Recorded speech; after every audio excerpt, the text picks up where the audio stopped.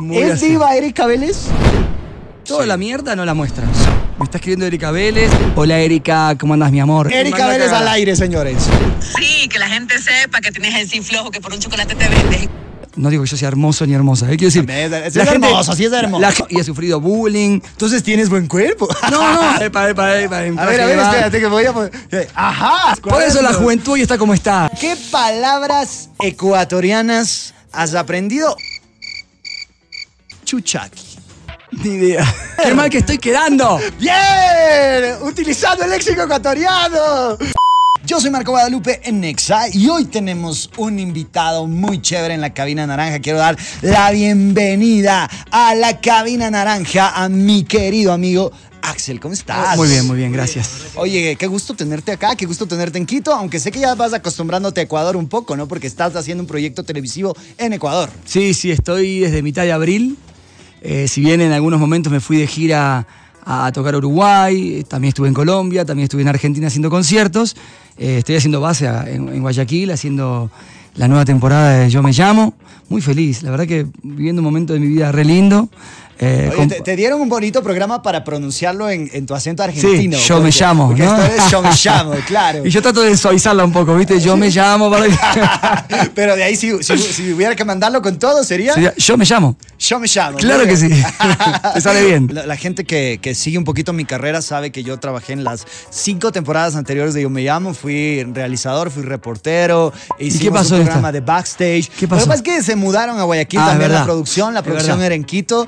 Y también hubo una pausa larga y ya como que estábamos en otros proyectos, en otras cosas. Pero conozco muy bien el programa y sé que es un programa muy bonito, muy familiar y que está hecho con mucho cariño, con personas muy profesionales en la cabeza. Yo le quiero mandar un abrazo gigante a la flaca Sí. Marco Guerrero, que sé que ahora está en la cabeza del programa también. Qué bien, qué cool, muy bien, lindo programa. Le mando un abrazo gigante a toda la gente. Oye, ¿y con tus compañeras, ¿qué tal? Te digo porque, a ver, Erika Vélez es como nuestra, wow, así como nuestra super actriz, presentadora.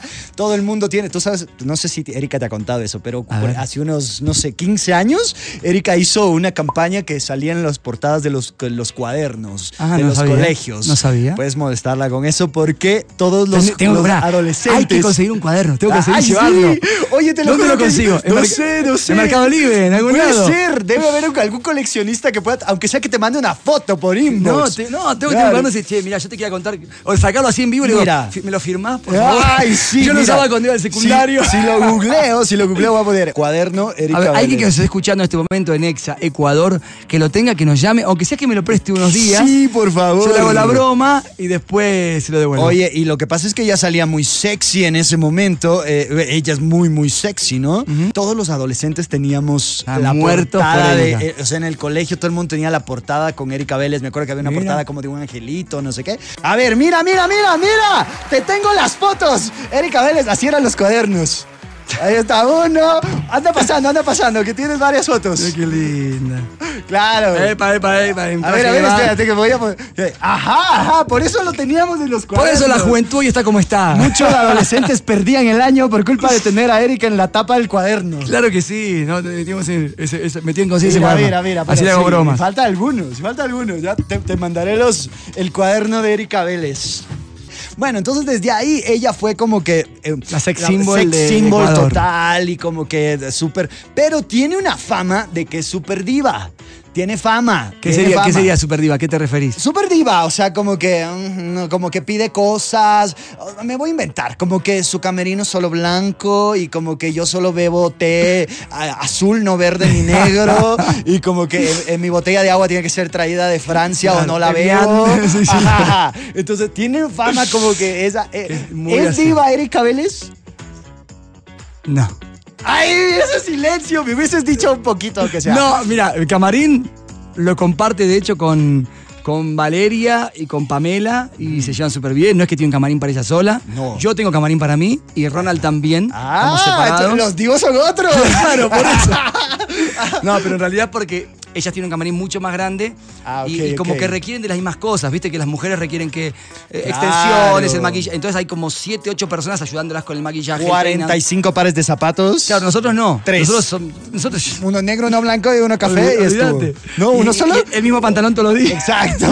Total, lo que se ve se ve de arriba. Y yo un día fui, en un día te cuento algo, en un día del programa fui en pijama la parte de abajo. ¡Ah, ese- no! Como lo de abajo no se ve, y justo ese día me hicieron parar. Y tú con Y yo digo, pijama. justo hoy me hacen parar. Y bueno, me paré y ya lo van a ver. Eh, pero no, ni- creo que ninguno, ninguno ni, ni- ni ninguna de las chicas es así diva y tiene estos rasgos de, de- de soberbia o arrogancia. No. Eh, por supuesto que cada uno tiene sus requerimientos. eh, pero son los lógicos, normales de, de cualquier persona que, que tiene ciertos gustos y que los puede exigir, nada más, pero no hay nada del otro mundo, nada. Y claro, Erika Vélez hace unas semanitas se volvió de hecho tendencia mucho porque empezó a hablar de salud mental, de depresión. Sí, sí, claro. Yo Y- le escribí. Y la gente como que se sorprendió. O sea, tú no te imaginas que una chica eh, de las Pero más porque fue agredida hermosas- también, fue agredida Y fue y- mu- ajá. Y también la gente le empezó a dar mucho en las redes sociales y eso. eh, no sé, ¿te ha contado algo? ¿Han, han hablado algo un del poquito. tema? Sí, sí, porque yo somos compañeros de laburo, Ujú. la quiero, conecté muchísimo con ella, entonces me preocupo. Si veo un compañero de trabajo que está con un mal momento, automáticamente le escribí, che, ¿qué pasó? Si querés me contás, si no, no, y me contó un poco. Yo creo que está bueno que se hable del tema, porque las conversaciones incómodas suelen esquivar los medios de comunicación. Es verdad, ¿No? es verdad. Y de hecho, las redes- tradicionales al menos, Las redes sociales, eh, uno muestra el momento luminoso del día y toda Sí. la mierda no la muestra. sí. ¿No? ¿Por qué? Porque tengo que lucir lindo y guapo o guapa y en el momento que estoy justo en Cancún y no sé qué, ponele, ¿no? Exacto. Y cuando estoy levantándome en la mañana con mal aliento, ¿por qué no? Si también Exacto. es parte de mí. Entonces O creo cuando que... me fue como la mierda ese día. También, ¿no? Entonces creo que, que está bueno que, que se hablen estos temas. La salud mental es, es- es muy... Yo creo que en los últimos años ha sido una cosa que creció muchísimo o que se expone mucho más.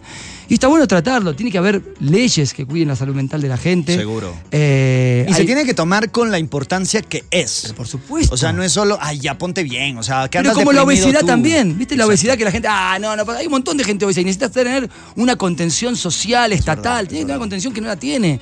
La salud mental es lo mismo y, y creo que, que afecta a mucha más gente aparte de los que imaginamos. Exacto. Así que, y, y hay mucha gente Y que se burla de todo eso. el mundo, Y- digamos. Y, que se burla de eso, ¿no? O, o- o las redes sociales que hay tanto hater, Exacto. eh, más Twitter que es muy para eso. La gente responde cualquier cosa, pone cualquier agresividad, cualquier- y es peor. Porque vos no sabés lo que está pasando a esa persona en la cabeza. Es verdad. Entonces me parece muy, muy valiente de su parte exponerlo, exponer a la persona que expusieron porque la había bardeado, como decimos en Argentina, Ajá. ¿no? Tratado mal. Y, y no es para tomarla a la ligera. Eh, realmente hay que profundizar y, y creo que la sociedad merece que, sobre, que los medios se ponga este tipo de temas ahí a- sobre la mesa. Es verdad, es Y verdad. se Es debata. bueno, es- exacto, hablarlo, debatirlo y también es bueno que las figuras públicas tan conocidas como Erika, por ejemplo, hable de estos temas porque Sí. quizá por ahí hay muchas niñitas o muchas mujeres que creen que eh, eh, su vida es el problema, ¿entiendes? Pero no es eso, o sea, no importa si tú eres la mujer más guapa del país, puedes tener un problema como lo está teniendo una señora en su casa. Pero o pues, sea, yo hace poco, mira, absoluto. yo hace poco, yo nunca suelo mostrar mi cuerpo eh, sin ropa. Ajá, No, no es algo que me gustó nunca, demasiado, nada. ajá. Pero el otro día, desde que llegué aquí a Ecuador hace dos meses y algo, estoy viviendo en un hotel, entonces aproveché para dije, "Ay, voy a mejorar mi alimentación. Yo me alimento muy bien, pero dije, voy a mejorar, pulir ciertas cosas. Y ya que estoy a la mañana entreno. Exacto. Entonces mi cuerpo empezó a cambiar. Y de repente me vi y dije, mira qué bueno. Porque yo no estuve siempre feliz con mi cuerpo. Y la gente cree que sí, dale, vos que, que no vas a estar feliz con tu cuerpo. A veces que no. Y he sufrido bullying, y he sufrido un montón de cosas que no las contás porque no tiene sentido contarlas a veces. Entonces puse una foto sin camiseta. Camiseta. Y la puse con ese contexto. La verdad que después de dos meses estar en Ecuador y pulir mi alimentación y mejorar, esto me demuestra que todo se puede con voluntad, con disciplina. Y dije, bueno, van a venir comentarios a matarme. La verdad que no. Hay, los invito ahí, está en Instagram, ¿no? En mi, en mi Instagram, que es Axel Oficial.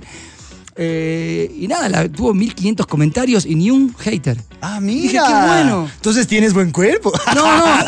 Bueno, pero el hater comenta siempre. No, mentira, sí, yo El hater, sé. sí, yo siempre digo, si la madre Teresa de Calcuta tuviera Instagram, tendría alguien que, la que la- le, le comentaría algo hate, ¿no? Es así.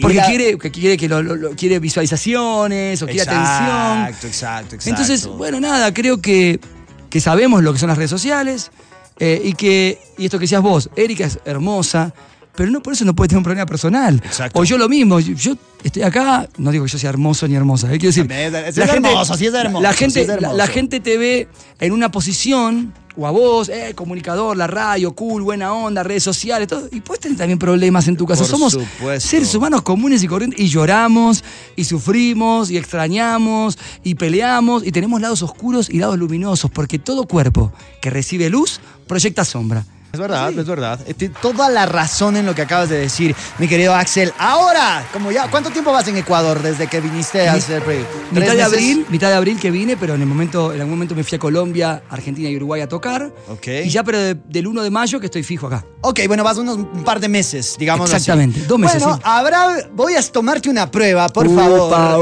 upa. A ver, ¿qué palabras ecuatorianas has aprendido? O te voy a decir unas palabras y tú me dices si ya las aprendiste. A ver, yo te voy a dar una que aprendí, la de ¡Oe! Oye, claro, claro, ya está. es una Después, contracción. a decir la man y el man. La man y que el en Argentina man. no se dice. No. Y ahora se me está pegando, porque a veces en el aire digo, en el programa digo, no, porque el man cantó muy bien y se ríen todos de mí. Pero claro, es que la man sobre todo es una cosa que acá. solo se dice en Ecuador. Sí, me sí. han dicho que también se dice en Panamá, pero no me, no me consta. No sé. Pero la man Es es, acá. como- claro, Olvídate, la man. Y me encanta como lo dicen. Claro, sí, sí, me encanta. Ah, yo una vez tuve una confusión en Colombia porque yo hablando de la vida le digo a un chico, oye, no, es que la man, no sé qué, no sé cuándo. Y me quedo viendo, ¿ah? y me dice, espera, espera, espera, pero ¿es una persona transexual? ¿O qué? ¿Por qué, La dice- man. por qué dices la man? Y yo, no, pues la man es una mujer, es la man. Y todos, ok, pero para los ecuatorianos muy normal, afuera nadie Bueno, viste que en. España la- las mujeres entre sí se dicen tío, eh, tío, y son Ah, mujeres, mira, mira. A veces dicen tía, pero Ajá, dicen muchas veces más tío. Sí, también. Bueno, a ver, te voy lanzando A ver, palabras. a ver, a la palabra básica ecuatoriana que espero que ya hayas aprendido Mm. es. A ver, te digo solo la palabra y si quieres te hago una oración. desafío, ¿ya? bueno, dale, dale. Para, que, para que digas, ¿ok? Si yo te digo, Axel, eh, hoy estoy chuchaki. No sé lo que es. Enseñame qué es. ¿Qué se te ocurre que yo digo, hoy, estoy chuchaki? ¿Qué se me Lo, ocurre? que lo que te suene. Buena onda, no sé. Hoy estoy buena onda. Sí, puede ser. ¿Y qué es? Voy a mandar un mail a la producción de Yo Me Llamo porque es la palabra más popular del Ecuador. No, pero la culpa la no significa... Pamela, Erika, Total. Ronald, que Valeria, que no reclamar y decir con Marco Guadalupe que todo No, me no ubica, puede ser. quedé mal. Chuchaki. Chuchaki. ¿Qué? Chuchaki significa resaca. Ah, pará, sí me lo dijeron el otro Ah, día, ¿verdad? por fa- Porque claro. había uno con resaca. Claro, entonces, oye, estoy chuchaki. Entonces está muy, ahí puedes decir chuchaki. Sí, sí. ¿Y tú qué estás chuchaki? O estoy chuchaki o tengo un. Sí, sí, o sea, resaca, obvio. Claro, pero chuchaki, te la tienes que aprender, por favor. Muy bien. Ahora sí te digo, Axel, yo de aquí me voy corriendo a la caleta. Ni idea. ¿Pero qué, qué puede ser? Qué mal que estoy quedando. ¿Qué puede Pero, Caleta. sí, me voy a la caleta. A pasarla muy bien. A la, no sé, a la playa, yo qué sé. ¿La playa? No sé. La caleta es la casa. Mira. Mi caleta, te invito a mi caleta. le Mira. decir, sí. Entonces tú le puedes decir a alguien. a güey, notar y decir, che, Ronald, dale, no me enseñaste todo esto. Eh, estoy total, quedando mal, boludo. Ronald, estoy quedando mal. Oye, sí, caleta, por ejemplo. Caleta. Tú puedes decir, oye, cae a mi caleta o venga a Dale, mi caleta, ok. significa a mi casa. Ok. ok. Si yo te digo, Axel, tengo un nuevo camello. Sóplenme, che, algo, tí- tíreme un centro, estoy quedando muy mal. Tengo un nuevo camello. ¿Un camello? Que está bien bueno.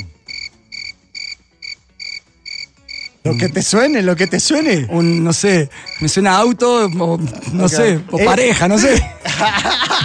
no, es el trabajo. trabajo, tengo, tengo, trabajo, sí. Mira. Y lo puedes hacer verbo, o sea, tú puedes empezar, yo me Ahora llamo y se puede decir, hacer, vamos a hacer. camellar. ¿Sabes qué voy a empezar a hacer? Me las voy a anotar todas estas y las voy a tirar en los programas de televisión. Por- me- Eh, cuando me- vaya yo, a yo me Espero llamo, me voy a- des mi crédito. No, no voy a Me decir, estoy haciendo un curso intensivo. Con Marco en- Guadalupe. Exactamente. Me a Que fue parte de la familia de Yo Me Llamo. Exacto. Y, me- y va- puedes decir, a ver, chicas, a camellar. Vamos, Significa claro. como a trabajar. No, ¿quién me invita a su caleta? Voy a decir. Eso, Dale. ¿eh? Bien. Muy bien, voy a estar pilas cuando uses las palabras. Ahora sí te digo, Axel, te invito mañana a una jama. Menos, no sé ni lo que es, jamás, una joda. ¿Una a una joda? fiesta. Más o menos, una jama es una comida. Ah, mira, Una, una, jama, una jama. O puedes decir, oye, estuvo buena la jama. Mira, mira. Y puedes hacerla verbo. O sea, tú puedes decir, ya, cortemos la grabación, quiero jamar. Claro, claro, Ajá, perfecto. va, quiero jamar, voy a Puedes comer. transformarse en un verbo, Eh, perfecto. Y todas las que te estoy diciendo son. Eh, Erika Vélez son me está escribiendo, ¿eh? Son muy de la costa. Me está escribiendo Erika Vélez, a ver qué me dice. Le voy a decir, che, ayúdame. Sí, sí, sí, sí, puedes decirle. escuchando. Puedes decirle. No, ¿Sí, qué? no, me está- no sé, a ver, me hace una pregunta, vamos a esperar a lo que me dice, porque me dice, amigo, como tienes el sí flojo, voy a aprovecharme, me dice, porque yo tengo, siempre me, me- me hacen chistes porque yo no sé decir que no a nada. Ah, no, ¿en serio? Entonces me dice, tú tienes el no dañado, me dice. pero ponle ahorita, pero me debes una jama. Espera, le voy a decir. Hola Erika, ¿cómo andas mi amor? Estoy acá al aire en EXA, en Quito, eh, aquí en Ecuador, haciendo una entrevista y dije, me está escribiendo Erika, que sabe que tengo el sí flojo, el no dañado y me va a pedir algo. A ver, te voy a mandar al frente, no sé qué es. Estamos hablando de vos recién, porque tengo algo. Te voy a sorprender. Te voy a sorprender, Erika. Muy bien, muy Ahora bien. consígame el cuaderno ese. Eh, eh, ay, Consígame sí, el cuaderno. Hay que conseguirte el cuaderno, ¿qué? Eh, ok, ok, sí, tenemos el cuaderno. Oye, eh, y rápidamente si te digo, por ejemplo, eh, cuidado que por aquí hay muchos... Me comí un bolón. Ah, eso sí. Ah, ¿te comiste un bolón? Claro que sí, ahí te gané. Rico, No existe rico, eso. rico, rico. No existe. No, No, existe. no existe eso. Abuelita De de, hecho- de verde, Sí, en deliciosa. Argentina no existe tampoco tanta variedad del plátano. En tenemos claro. el clásico, el guineo. El verde maduro, el, el- Claro, no hay nada el de que es eso. con mezcladito, o sea, de Claro, todo. exactamente. De todo. Bueno, bueno, pero me encantó que tengamos algunas palabras ecuatorianas. Y ahora hemos hablado de todo menos de lo que teníamos que hablar. Bueno, las palabras ecuatorianas has fracasado, pero todavía tienes Fracasé. un tiempo para aprenderlas. Y quiero que las sorprendas a las chicas con su... Ah, cosa. me manda un audio, A ver, Erika. vamos ver a si- poner, No, no, pará. Déjame escuchar a ver si lo puedo poner al aire. ¡Acerado! Lo pongo de una y la mando al frente. a ver. A ver, veamos. Erika Vélez está haciendo conexión en directo, señores. Sí, lo puede poner, lo puede Yo al poner. principio creo que sí. A ver, a ver, a ver. Ay, te odio, te amo, te odio. Ay, ¿Qué qué, pasó? boludo que ¿Qué soy. esperen. A ver. Quise subir el volumen. Erika a Vélez al aire, señores. A ver, a ver. Sí, que la gente sepa que tienes el sí flojo, que por un chocolate te vendes. Y como yo voy a aprovecharme de eso, y ya que está en la radio, entonces, por favor, a- Ay, Por favor. ¿qué? No me dejes así. por favor, haz publicidad y menciona que en el Teatro Prometeo vamos a estar este Ah, viernes, su 7 y media de la noche, sábado, 7 y media de la noche y domingo, 4 y media de la tarde. Y que el domingo vas a ir a verme, a aplaudirme de pie. ¡Yeah! Así es, bueno. Está como una obra de teatro muy linda. ¿no? A cambio, nos tenés que invitar a tu caleta y a, a compartir una buena jama. ¿eh? ¡Bien! Utilizando el léxico ecuatoriano. Te va a quedar así como, ¿y este? ¿Qué? ¿Y este man? ¿Y este man? ¿Por qué está hablando así? Pero te va a entender de una. O sea, no te puede decir, no entendí. No, no, no. Sabe lo que es caleta y sabe lo que es jama. No hay Obvio- obvio que manera. sí, obvio que no sí. hay manera. Oye, chéverísimo. Muy bien. Ve- ve, Vas aprendiendo algunas palabras. Ya te anoto para que las puedas llevar. Dale, perfecto. ¿Verdad? Sí, sí, así las aplico en, en el, en el programa en el programa Ahí, y en de- todo. De, una, de O una. con la gente. Si tú quieres voy a hacerme pasar como guayaco o Dale. alguna cosa. Y dices, Perfecto. jama, caleta, ñaño. Ñaño es hermano. Sí, ñaño. Ah, pero, sí. pero, pero se usa como Como pana entre- claro, también. como en sí, decimos boludo, eh, sí, che, como- como entre amigos. Oye, ñaño, ya vamos. Claro, o sí, sea, sí, y no significa que seamos hermanos, pero es como decir pana. ñaño. Perfecto, esa la sabía, mira. Una, mira, una, Muy bien, muy bien, Vamos. muy bien, muy bien, Axel. Oye, ya, me- ya me van a matar aquí porque hemos comadreado de todo, De todo menos de, de, tu, de lo que viniste a promocionar, de tus temas, de tus canciones. La gente eh, te sigue muchísimo por tus temas eh, que te sacaron a la luz en su momento, que Sí. fueron espectaculares, increíbles, y también por lo que estás haciendo ahora. Cuéntanos, ¿qué estás haciendo ahora? Sí, a mí, por supuesto que la gente todavía. son aparte, son canciones que se han transformado en clásicos que no los puedo dejar de hacer nunca en ningún concierto, ¿no? Canciones como Amo, Te voy a amar, Tu amor por siempre, ¿Qué estás buscando? Celebra la vida, Me puedes de punta a punta, Miradas, tantas canciones que han sonado fuertísimo en, en gran parte de Latinoamérica, aquí en Ecuador muchísimo.